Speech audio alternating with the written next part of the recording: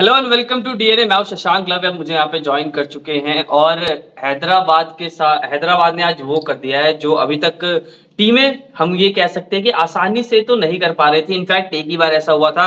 हैदराबाद अपना आईपीएल आज अपना आईपीएल 2024 में दूसरा मैच हारी है। अब तक 16 पॉइंट के साथ स्टिल ऑन टॉप लेकिन एक सेटबैक मिला मेजर सेटबैक मिला है। अब बात करेंगे पूरे मैच की लेकिन first of all first thing Bhuvneshwar Kumar the man with the new ball in the power play, the man with the old ball in the death over. Bhuvneshwar Kumar but मुझे लग रहा है आज ज़्यादा players ऐसे हैं जो चाहे आप नटराजन की बात करिए चाहे भुवनेश्वर कुमार की बात करिए चाहे आप संदीप शर्मा की बात करिए चाहे आप रियान पराग की बात करिए जिनको जिनको इंक्लूड नहीं करा गया है वो हर प्लेयर परफॉर्म कर रहा है। और मुझे लग रहा है यही कल भी होने वाला है रिक्कू सिंह कुछ ज़्यादा ही अपना वो दिखाने वाले हैं जो चल रहा है। बट आज के मैच की बात करें तो बहुत ज़्यादा इंप्रेसिव बैटिंग नीतीश कुमार रेड्डी की तरफ़ से जिस तरीके से मेच्योरिटी दिखाते हुए उन्होंने टीम ने उनको ऊपर बेटे ट्रस्ट करके उन्होंने पूरा उस चीज़ को भरोसा जताया और खरे उतरे इस भरोसे पे हम्म। और जिस तरीके से बैटिंग करी इनिंग्स बिल्ड करी एंड तक लेके गए नॉट आउट गए और जिस तरीके से मुझे लग रहा है पार्टनरशिप भी उनकी क्लासन के साथ रही हम्म। और वहीं से उस वजह से सनराइजर्स हैदराबाद का स्कोर इस तरीके से पहुँच पाया कि आप 201 रन बना पाए जबकि आपके पावर प्ले में सात ओवर इनफैक्ट सात ओवर तक forty four forty four power play में सैंतीस रन थे। देखिए बात करें स्टार्टिंग से पूरे मैच की। ट्रेविस हेड अभिषेक शर्मा एक और बार ओपन करने आए। ट्रेविस हेड ज़रूर लास्ट में दिख रहे हैं। हमको चौवालीस बॉल पर अट्ठावन रन लेकिन स्टार्टिंग में फंसे हुए थे। हम्म। वहाँ पे विकेट आई थी। आवेश खान ने अभिषेक शर्मा को आउट किया। संदीप शर्मा ने अनमोल प्रीत सिंह को आउट किया। पावर प्ले में ये दोनों विकेट गिरे जल्दी जल्दी और सैंतीस पे दो था पावर प्ले का स्कोर उसके बाद अट्ठावन रन ट्रेविस हेड ने ज़रूर बनाए, लेकिन वो उस अंदाज से नहीं बनाए जो अब तक इस आईपीएल में करते आए हैं। लेकिन वही दूसरी तरफ़ नीतीश कुमार रेड्डी एक और उभरता सितारा भारत के लिए अपना नाम बड़े स्टेज के लिए ज़रूर दर्ज कर रहा है। आज भी जब प्रेस सिचुएशन में टीम फंसी हुई है, चार नंबर पे आके बयालीस बॉल, छिहत्तर रन 180 का स्ट्राइक रेट, कहीं ना कहीं टीम को एक रिस्पेक्टेबल टोटल तक ले जाने में बहुत बड़ा योगदान उनका था। बाद में हेनरिक क्लासन 19 बॉल में बयालीस रन फिनिश किया। जिसके लिए जाने जाते हैं दो, सौ इक्कीस का स्ट्राइक रेट तीन छक्के तीन चौके और हैदराबाद को respectable but still a low score Hyderabad के स्टैंडर्ड से ही दो सौ दो सौ तक लेके गए दो सौ एक। तक। दो सौ एक और हाईलाइट शशांक देखिए अश्विन की आज बॉलिंग अच्छी रही मतलब ज़्यादा इकोनॉमी हम्म। ज़्यादा रन कंसीड नहीं किए नौ की इकोनॉमी मात्र हम्म। उनकी। चहल जिनको टी ट्वेंटी वर्ल्ड चार में बासठ। चार में बासठ। मतलब मुझे लग रहा है जिनको लिया गया वो मतलब शिवम दुबे को ले लीजिए हार्दिक पांडे को ले लीजिए सब सिर्फ़ एक यशस्वी जायसवाल को अगर हम हटा ले जिनकी अभी हम बात करेंगे अभी तक सब प्रॉपर ही फ्लॉप रहे हैं। ट्रेंट बोल्ट चार ओवर में तैतीस रन आज भी विकेटलेस गए पावर प्ले का जो विकेट का सिलसिला था आज भी वो नहीं बना। अश्विन चार ओवर छत्तीस नौ का इकोनॉमी आवेश खान चार ओवर उनतालीस दो विकेट लिए। वर्ल्ड कप में ये भी जा रहे हैं रिज़र्व में। तो इकोनॉमी दस के आसपास का है चार ओवर में उनतालीस रन इन्होंने खाए। संदीप शर्मा चार में इकतीस एक विकेट अगेन। संदीप शर्मा को मारना मुश्किल नहीं पॉसिबल है। और चहल हमने बात करी आज विकेटलेस गए और चार ओवर में बासठ रन खाए। 201 रन हम बैक स्टेज बात कर रहे थे कि it will be easy chase for Rajasthan. वो चीज़ कहीं ना कहीं दिखाई भी ज़रूर। आ, वापस वही हमारे स्विंग किंग स्विंग के राजकुमार जो है हमारे भुवनेश्वर कुमार ने पहले ही ओवर में आ, पहले जॉर्ज बटलर उसके बाद संजू सैमसन को वो जो टॉप ऑफ़ ऑफ़ स्टम्प जो बोल्ड किया।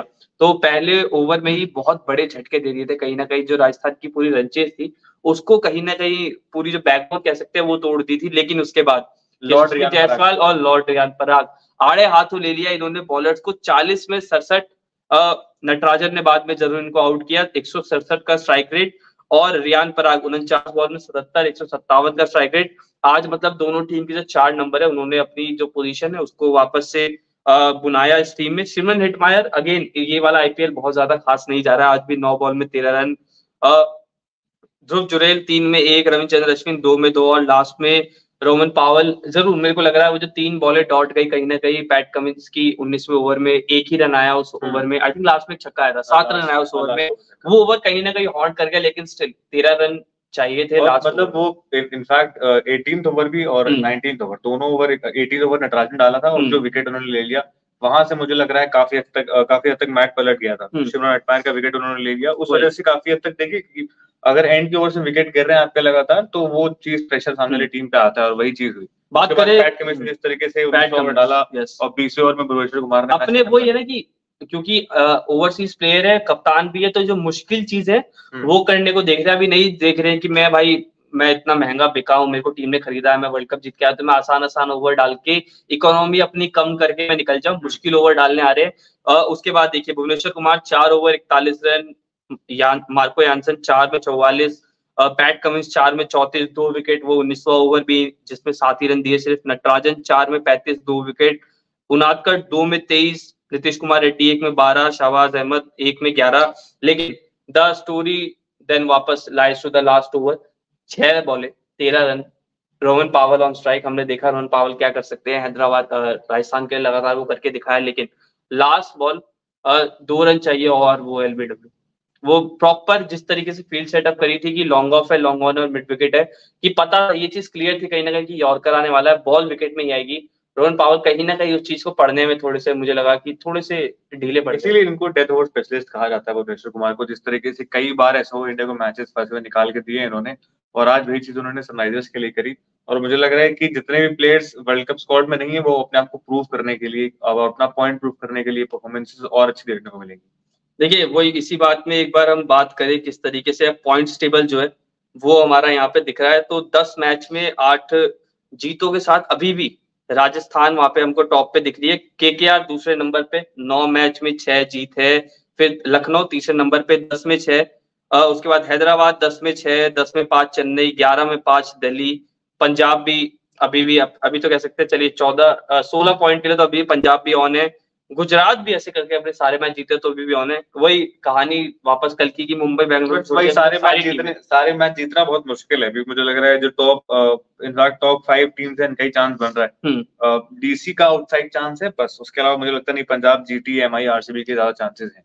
चलिए तो ये था आज के मैच का हाल। कल भी एक बड़ा मैच है आई थिंक दिल्ली और मुंबई के बीच में कल कल के और एम आई के के और एम आई के बीच में। तो एक और जो बहुत ही पुरानी राइवलरी एक और टसल है उस पर देखने मिलेगा। के के आर वो चाहेगी कि टॉप टू में ही फिनिश करे जहाँ पे अभी जैसे भी दूसरे पायदान पे बैठी हुई है।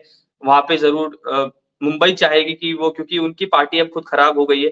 तो वो जो दूसरी टीम है के उनकी पार्टी खराब करे क्योंकि कुछ ज़्यादा याराना है के और मुंबई का।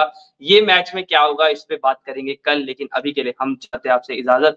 आज की बड़ी अपडेट ये है कि हैदराबाद को आईपीएल 2024 में अपनी दूसरी हार मिली है और उसके अपोनेंट थे सनराइजर्स हैदराबाद।